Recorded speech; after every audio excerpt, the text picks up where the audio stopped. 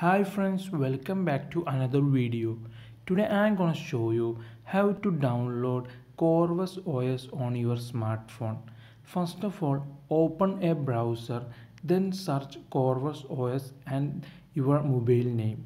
Then also search Pling. And we click on the search button.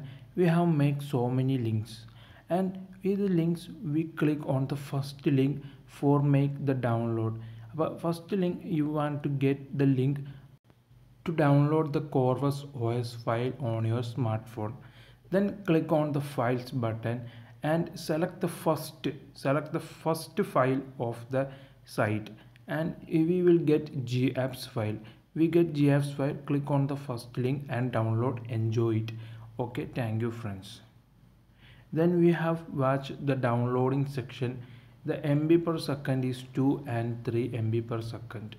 Up Corvus OS. Thank you friends.